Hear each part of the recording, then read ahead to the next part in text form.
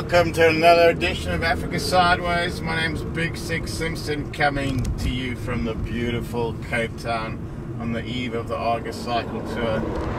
We've got something small and sophisticated for you today. The new Opel Adam 1 litre turbo and this thing rocks ladies and gentlemen. Pretty economical, 7 to 8 kilometers per 100 k's if you're driving conservatively. Pretty uneconomical if you put it in that's not what this car is about. It's about style, it's about panache. And most importantly, it's about handling. This car is probably one of the best handling cars I've driven all year.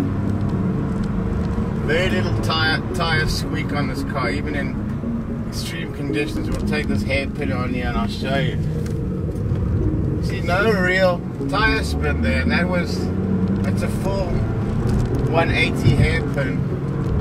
Good job, Opel. We're really making a comeback with some proper styling after just being a bit of a copycat and been a bit of a non-entity for the last 10 years. Opel starting to come back at it. Reminds me of the old Superboss days, turbocharged Opel engines used to sing all day long, ladies and gentlemen. another beautiful day here in Cape Town. So this is kind of taking on the Fiat 500 made all the other companies want to get in on the, on the compact city slicker market. This is made for somebody who doesn't need boot space, small, compact, fuel efficient operator, so to speak. Price wise, this thing's coming in at starting off at 200,000 Rand, about 16,000 pounds. It's one of the more expensive small little zippy hatches in the country. You're going up against your 500e, your Ford Fiesta, and your Mini Cooper, which is a lot more expensive than that. The other cars are cheaper. So this is kind of in between your luxury German cars and, and your cheaper Japanese and American offerings. What this does offer is a lovely sunroof here.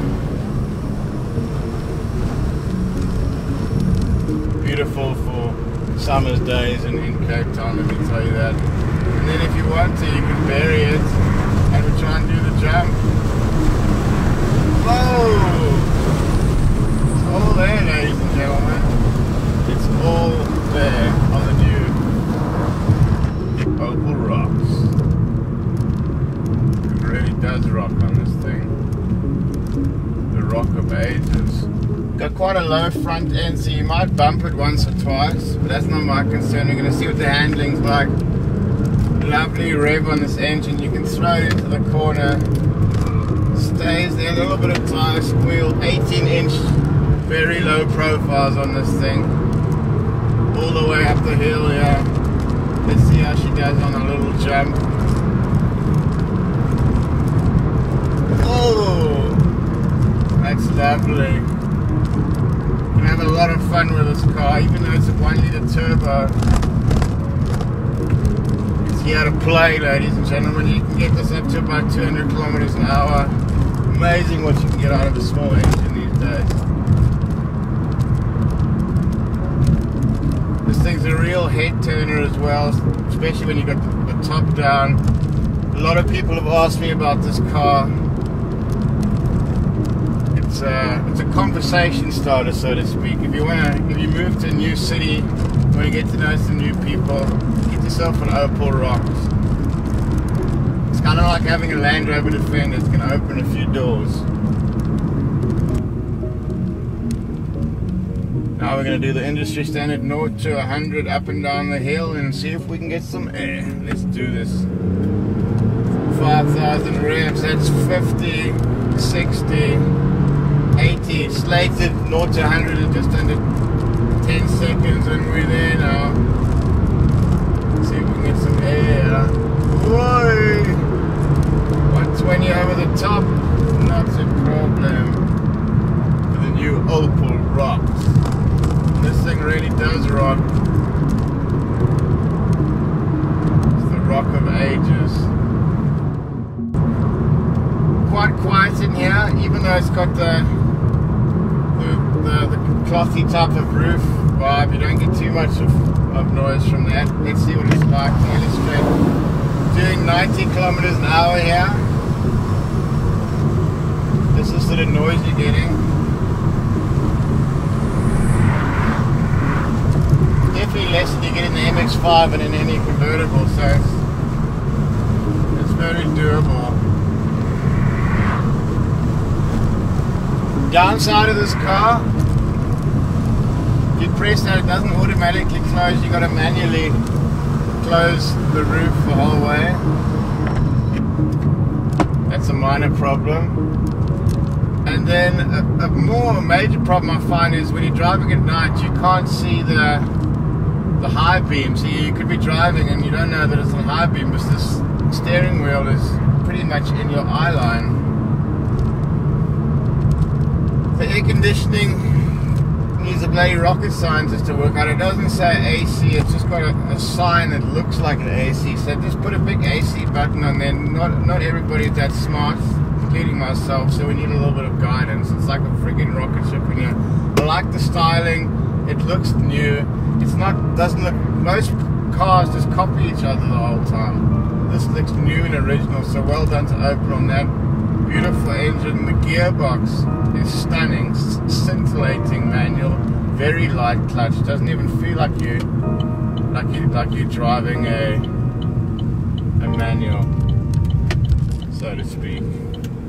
Yeah, just turned another head. So for 250,000 Rand, you can turn as many heads as if you're driving a friggin' Ferrari. So I think somebody at the Opel marketing department needs to take a bow. Wipers work. It's really, I don't know how to describe this pattern, but it's really, it's really growing on me. Bucket seats.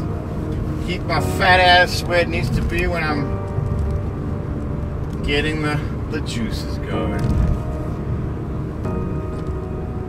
So all in all for the price, it is a little bit pricey, 250 for this car. I mean, you, you can get a big, sensible little family wagon for that, but in terms of fun, drivability,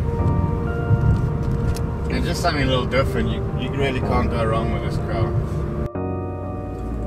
The other thing I like about this car is it has a key They've haven't gone with a, the Namsy Pamsy keyless system, so that's good. This is part of the General Motors group, so you're gonna get good after sales. Loads of dealerships around here. It's also part that they're part of Isuzu, so I think some of the Isuzu reliability has has, has washed off on, on General Motors in South Africa, which can't be a bad thing. In terms of legroom in the back, you're not going to have much of that, so don't expect to use this as a family wagon you have kids, don't bother getting the two doors. It's a, a pain in the ass. This is for somebody upwardly mobile without kids that just wants to zip around and have a laugh. And that's what the new Opel Adam rocks. Get handling around the. You see? Oh, there you get a bit of tire squeal.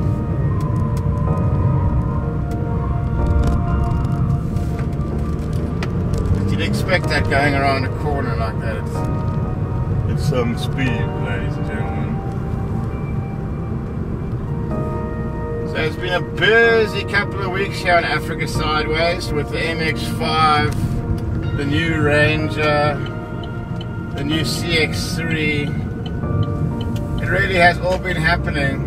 So we're going to take a couple of weeks break and then we've got the new Ford Everest. I've been really looking forward to that one. I'd even take it out of town and have a bit of fun. So have yourselves a blessed week, and we'll catch you next time on Africa Sideways. This car was named after Adam Opel, the founder of the company. Kind of a centenary, centenary edition. It's quite funny doing a, a centenary edition of a little mini. But hey, there's enough big cars out there to have a little a little bit of fun.